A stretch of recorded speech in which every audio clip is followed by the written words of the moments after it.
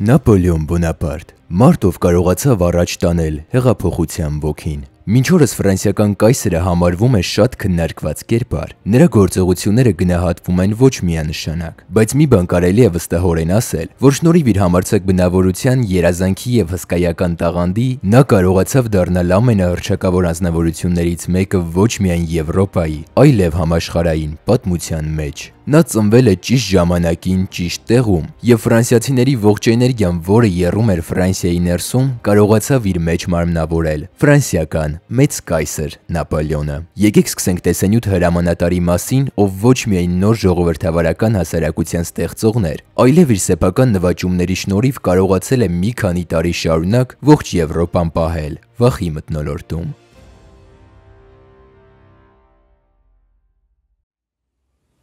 1769 թվականի օգոստոսի 15-ին Կորսիկա փոքրիկ կղզում ծնվեց Նապոլեոն Բոնապարտը։ Նրա ծնողները եղել են հարուստ արիստոկրատիայի ներկայացուցիչներ, իսկ մայրը իր կյանքը նվիրել է երեխաների ծնման եւ դաստիարակման գործին։ Հետաքրքիր է նշել, որ հայտնի կորսիական ընտանիքի ազգանունը իտալերենով արտասանվում է ինչպես Բոնապարտիա, իսկ ֆրանսերենով Բոնապարտ։ Տնային կրթություն ստանալուց հետո 6 տարեկանում Նապոլեոնը գնաց մասնավոր դպրոցում սովորելու, որտեղ երեխան անմիջապես սկսեց դրսևորել դրսևորել ջանասիրություն եւ լավ առաջնորդական հատկություններ։ 10 տարեկանում նա տեղափոխվեց կուրսանտների քոլեջ, որտեղ նա սկսեց ակտիվորեն ուսումնասիրել մաթեմատիկա եւ մեծ հրամանատարների պատմությունը։ Հենց մաթեմատիկայի հանդեպ սերն էր, որ նրան ստիպեց գնալ հրետանավորի ճանապարհով։ Որոշ ժամանակ անց ընդունակ երիտասարդը տեղափոխվեց ֆրանսիական փոքրիկ Բրիեն քաղաք, որտեղ նա ուսումը շարունակեց ռազմական դպրոցում։ Միապետի հանդեպ Նապոլեոնը մեծ համակրանք չէր տածում, քանի որ աշխատավարձը շատ ցածր էր եւ պարզապես պարզապես դժվար էր կերակրել ընտանիքին։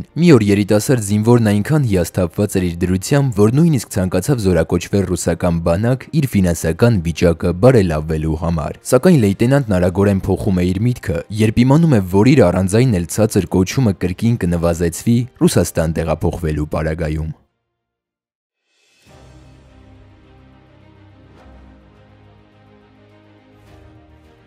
1789 թվականին Ֆրանսիայում սկսվեց բուրժուական հեղափոխությունը, առանց որի Նապոլեոնին դժվար թե սպասեր նման փայլուն կարիերա։ Երկար ժամանակ ամրոցը համարվում էր անառիկ, բայց Նապոլեոնի ռազմավարական հնարքների շնորհիվ նրանք կարողացան ճիշտ կիրառել հրետանային հմտությունները եւ արագ գրավել Թշնամու ամրոցը։ Գեներալները շատ էին զարմացել նման վաղ հասակում ունեցած Նապոլեոնի գիտելիքներից։ Ինչ է կարծում, քանի տարեկան էր Բոնապարտը, երբ կարողացավ դառնալ գեներալ։ Գրեք մեկնաբանություններում։ Դուք չեք հավատա, սակայն իշնորհիվ կառավարչի փոփոխության եւ երիտասարդ զինվորի համառության Տուլոնի դեմ հաղթանակից հետո նրան հաջողվում է ընդամենը 24 տարեկանում դառնալ բրիգադի գեներալ։ Թվում էր, թե նրան հրաշալի կարիերա է սպասվում, բայց 1794 թվականին Յակոբինները ձախողվում են, շարժման առաջնորդները մահապատժի են ենթարկվում, իսկ Նապոլեոնին ձերբակալում են։ Մեկ տարվա ընթացքում ապագա կայսրը նամակներ է գրել նոր կառավարությանը, ապացուցելով, որ նա կարող է օգտակար լինել։ Եվ ահա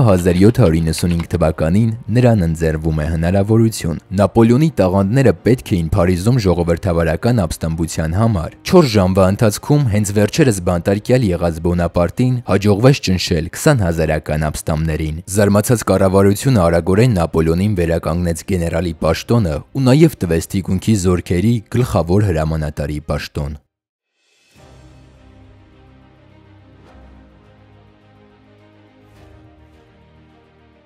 Դրանից անմիջապես հետո Նապոլեոնը հանդիպում է իր առաջին կնոջը՝ Ժոզեֆինա դե Բուարնեին, բավականին գեղեցիկ եւ ուժեղ կին, որը կարողացավ արագորեն գրավել երիտասարդ հեղափոխականի սիրտը, եւ 1796 թվականի մարտին նրանք ամուսնացան։ Սակայն ընդամենը մի քանի օր անց Նապոլեոնը բանակի եւ ժողովրդի լիակատար աջակցությամբ սկսեց նոր իտալական ռազմական արշավ։ Երիտասարդ գեներալը կարողացավ 1 տարում պրակտիկորեն 0-ից ամբողջությամբ վերակազմավորել բանակը եւ զինվորներին ապահովել այն ամենով, ինչ նրանց անհրաժեշտ էր։ Այս արշավի ընթացքում Նապոլեոնը ոչ միայն կարողացավ տեղի բնակչության շնորհիվ ապահովել բանակին անհրաժեշտ ամեն ինչով, այլև առավելագույնս դրսևորեց իր դիվանագիտական ունակությունները։ Ոստի նա կարողացավ հեշտությամբ համաձայնության գալ Ավստրիա եւ Իտալիայի փորձառու քաղաքական գործիչների ու նույնիսկ անձամբ Ռոմի Պապի հետ, ով ի վերջո ընդունեց Սուրբ Հռոմեական կայսրության հանձնումը։ Դրանից հետո Նապոլեոնը վերադառնում է որպես ազգային հերոս, ով Պարքի շողերի տակ հայտարարում են նոր արշավի մասին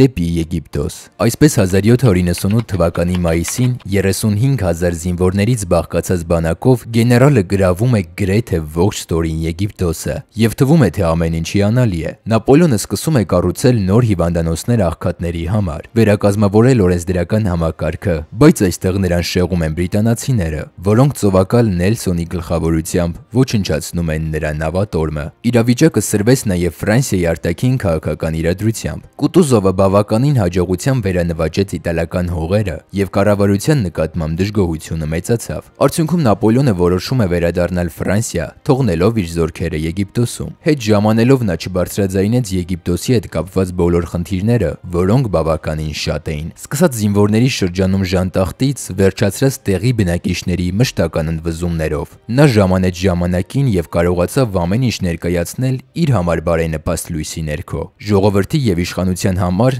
նա նվաճող ու ազգային ազատագրող էր։ Եվ դա ի վերջո ապահովվեց, որ 30 տարեկանում նվաճած հանրապետությունը պաշտպանելու պատրվակով կարողանար իրականացնել պետական հեղաշրջում։ Այսպես մարդը, ով ընդամենը 5 տարի առաջ գտնվում էր բանտում, հրճակվում է Ֆրանսիայի առաջին հյուպատոս, որը ուներ անսահմանափակ իշխանություն։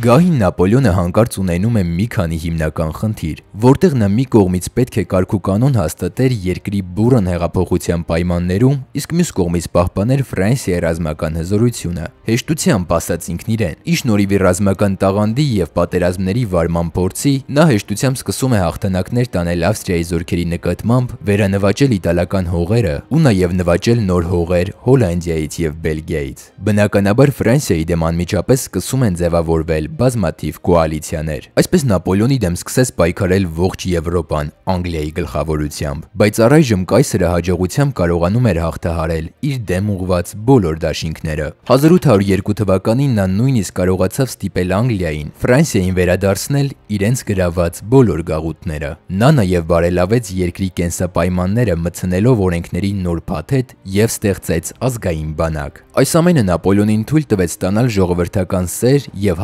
1802 թվականին ընտրվել առաջին ցմահ հյուպատոսի պաշտոնում։ Բայց Նապոլեոնին անսահմանափակ իշխանությունը բավարար չէր, քանի որ նա իրեն տեսնում էր որպես ֆրանսիական մեծ կայսրության կայսր, ինչը նշանակում է, որ իրեն թագադրում էր պետք։ Եվ այսպիսով 1804 թվականի դեկտեմբերի 2-ին Սուրբ Հռոմեական կայսրությունում նրան հաջողվեց իրականացնել իր երազանքը, եւ նա ընդունեց թագը Հռոմի պապից։ Եվրոպական երկրները Նապոլեոնի այս արարքը չգնահատեցին եւ անմիջապես նոր դաշին կազմեցին նրա դեմ, բայց ընտրված կայսրն իրեն վստահ էր զգում եւ առանց վարանելու սկսում է Անգլիայի մայրցամաքային շրջափակումը։ Այնուհետև ռուսական հողերի նկատմամբ իր փայլուն հաղթանակներով ստիպում է Ռուսաստանին, իսկ հետո նաև Պրուսիային միանալ շրջափակմանը։ 1808 թվականին Նապոլեոնի ոտքերի առաջ է ընկնում նաև Շվեդիան։ Անգլիան մնում է միակ եվրոպական երկիրը, որը կարողանում էր դիմակայել Նապոլեոնին։ Ինքնիշխանի հավակնություններն անսահման էին։ Գերված ժողովուրդների փողերը գետի պես հոսում էին Ֆրանսիայի գանձարան,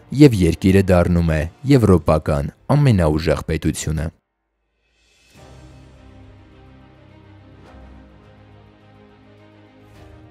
Մեղադրվելով իր շուրջը գտնվող իշխանությունների կողմից Նապոլեոնը սկսում է թագավորների եւ թագուհիների տիտղոսներ բաժանել իր հարազատներին։ Անգլիան իր հերթին թույլ չտվեց Նապոլեոնին հասնել լիակատար եվրոպական ամենազորության ծովերում նրա գերիշխանության պատճառով։ Մայրցամաքային շրջափակումը պետք է կործաներ բրիտանական տնտեսությունը, բայց այստեղ տեղի է ունենում մի քանի անսպասելի իրադարձություններ։ Սկզբում իսպանացիների բողոքի պատճառով պատերազմ բռնկվեց Նապոլեոնի եղբոր Ժոզեֆի Իսպանիայի թագավոր նշանակվելու դեմ։ Անգլիացիները ակտիվորեն օգնում էին իսպանացիներին անկախության համար պայքարում, եւ Նապոլեոնի բանակի մի մասը արգելափակվեց մինչև 1814 թվականը։ Բացի այդ Ռուսաստանի եւ Ֆրանսիայի միջև հարաբերությունների վատթարացման ֆոնին Ալեքսանդր առաջինը դադարեց աջակցել Անգլիայի շրջափակմանը։ Այդ պահին ամբողջ Եվրոպան զգում էր բազմաթիվ ապրանքների սուր պակաս, որոնք ֆրանսիական արդյունաբերությունը չէր կարողանում լիովին ապահովել, իսկ ժողովուրդը հոգնել էր մշտական պատերազմներից։ Ռուսաստանի եւ Ֆրանսիայի միջև լարվածությունն ավելի ու ավելի ակնհայտ էր դառնում, եւ Նապոլեոնին անհրաժեշտ էր վճռական գործել։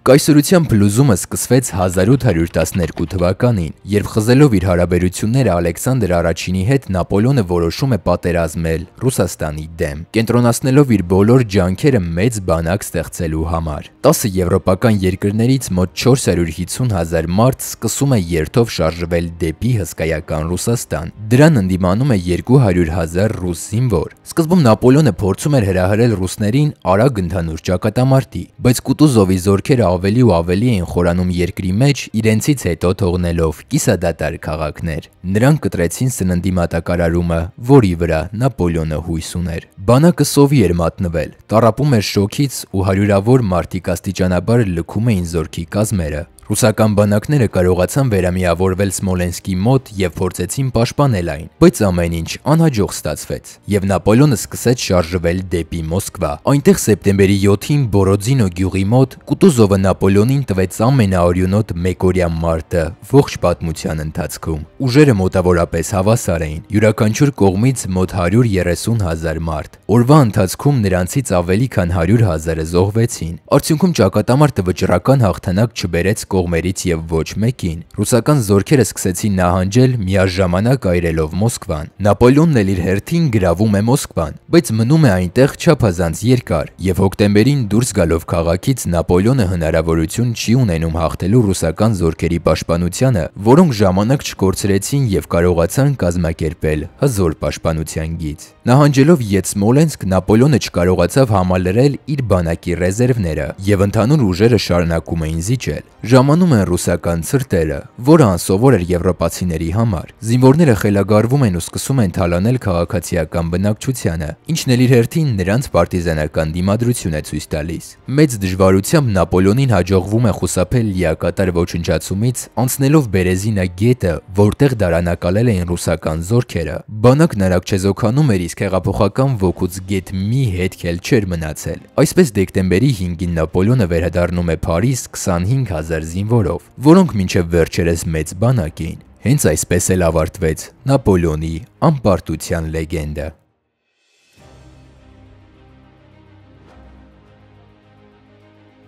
Որքան էլ որ ռուսական բանակը հոգնած լիներ, նրանք դեռ Ալեքսանդր առաջինից ստանում էին գերմանական հողերում Նապոլեոնին հետապնդել շարունակելու հրաման։ Այնտեղ նրան հաճույքով միացավ Պրուսիան։ Նապոլեոնն արագորեն կարողացավ հարմարվել արկա պայմաններին ու հավաքեց 300 հազար մարդ, որոնց շարքերում կային եւ ծերունիներ եւ դեռահասներ, որոնց նա կարողացավ վարակ վարժեցնել դեպի Գերմանիա գնալիս։ Նա կարողացավ մի քանի ջախջախիչ պարտություններ տալ կոալիցիաներին։ Նրան նույնիսկ առաջարկել էին խաղաղություն, որտեղ նա պետք պետք է թողներ Լեհաստանը, որպիսի այն բաժանվեր Ռուսաստանի, Պրուսիայի եւ Ավստրիայի միջև, ինչպես նաեւ վերականգնի Պրուսիայի սահմանները եւ Ավստրիային տա Իլիրիան։ Սակայն Նապոլեոնն իր հիմնական առավելությունը համարելով նվաճողական ուժը, բնականաբար հրաժարվեց խաղաղությունից։ Այդ պահին դաշինքին սկսեցին միանալ Ավստրիան եւ Շվեդիան, եւ Նապոլեոնի դեմ 6-րդ դաշինքը դառնում է ամբողջովին համալրված։ Կայսրին հաջողվում է մի քանի նշանակալից հաղթանակներ տանել Դրեզդենի վրա, սակայն միևնույն ժամանակ ժամանակ ենթակա գեներալները պարտություն էին կրում պարտության հետևից, եւ ընդհանուր ճակատամարտը երկրների դաշինքի դեմ դառնում էր անհրաժեշտություն։ Բրունսկի մեջ հավաքելով ֆրանսիական բանակի վերջին ուժերը, Նապոլեոնը հոկտեմբերի 16-ին սկսում է հարձակում։ Ժողովուրդների ճակատամարտը ջախջախիչ էր։ Նապոլեոնական պատմության մեջ ամենամեծ ճակատամարտը տևեց 3 օր։ Կատաղի կռիվը տեղի ունեցավ Նապոլեոնի 200 հազար զինվորների եւ 250 հազար դաշնակիցների զորքի միջև։ Սակայն հոկտեմբերի 18-ին Նապոլեոնի ռուսական գնդերը անցան թշնամու կողմը, եւ թվային առավելությունը դարձավ չափազանց ակնհայտ։ Կորցնելով 80 հազար զինվոր, Նապոլեոնն այլևս ոչինչ չուներ բացի Ֆրանսիայից եւ ստիպված եղավ նահանջել։ Հենց այսպես էլ 1813 թվականին ավարտվեց հարցակողական արշավները։ Իհարկե դաշինքը չկարողացավ Նապոլեոնին հանգիստ թողնել, եւ հունվարի սկզբին նրանք ներխուժեցին Ֆրանսիա։ Փարիզում նստած կայսրը մենակ է մնում հարցակվող Եվրոպայի ողջ ուժերի դեմ, ինչը արագորեն հանգեցնում է նրա առաջին գահից հրաժարվելուն 1814 թվականի ապրիլ ամսին։ Ջախջախիչ պարտությունից հետո նախկին կայսրը թույնի միջոցով ինքնասպանության փորձ է կատարում, սակայն փորձը ձախողվում է, քանի որ դեղը ժամկետն անց է լինում ու Նապոլեոնը մնում է կենթանի։ Միապետի հետ պայմանավորվածության համաձայն Եվրոպայի նախկին սեփականատերը տիրում է Էլբա փոքր կղզուն, որի վրա նա մնաց որոշ ժամանակ հազարանոց բանակի հետ միասին։ Նապոլեոնը փողի էր սպասում, բայց ոչ ոք նրան չվճարեց խոստացված 2 միլիոն ֆրանկը կղզու զարգացման համար։ Ոստի նա մնում է առանց փողի։ Միևնույն ժամանակ դաշինքը չգիտեր, թե ինչպես միմյանց միջև ճիշտ բաշխեր նվաճված հողերը։ Բանակը դժգոհ էր ուժեղ կրճատումներից, իսկ հողի նոր տերերը միայն մտածում էին այն մասին, թե ինչպես պահպանեն իրենց տնորինումը։ Օգտվելով քաղաքական բարենպաստ իրավիճակից, նա հազար զինվորներով վիճավ Ժուանի նեղուց։ Հիմնվելով հեղափոխական տրամադրությունների վրա նա կարողացավ ոգեշնչել իր շուրջը գտնվող մարդկանց եւ հավաքել նոր 125 հազարանոց բանակ։ Լյուդովիկոս 18-րդը վախեցավ եւ փախավ երկրից։ Մտնելով Փարիզ, Նապոլեոնը 100 օրվա ընթացքում կարողացավ նորից դառնալ ֆրանսիական կայսր։ Թվում էր, թե Նապոլեոնը նորից կկարողանա վերադառնալ իր նախկին մեծությանը, ողջ Եվրոպան նորից ներքաշելով նապոլեոնական պատերազմների մեջ։ Սակայն դաշինքը նույնպես չէր քնել եւ հնարավորինս կարճ ժամանակում հավաքեց ավելի քան 600 հազարանոց բանակ։ Նապոլեոնի նորակոչիկները միակ հնարավորությունն էին մասնատելու Անգլիա-պրուսական բանակը մինչև ռուսական զորքի ժամանումը, եւ 1815 թվականի հունիսի 18-ին սկսվում է Նապոլեոնի վերջին խոշոր ճակատամարտը Բելգիական Վաթերլոյում։ Դրանից հետո Նապոլեոնը կրում է վերջնական պարտություն ու ուղևորվում է դեպի շատ ավելի համեստ Սուրբ Հեղինե կղզի, որտեղ նա իշխանությունը պահում է ուղիղ 100 օր եւ կղզում նա անցկացրեց իր վերջին տարիները մինչեւ իր մահը Ստամոքսի խոցից 1821 թվականին։ Նկարագրելով Նապոլեոնի անձնական հատկությունները, կարելի է ասել, որ նա երանդուն,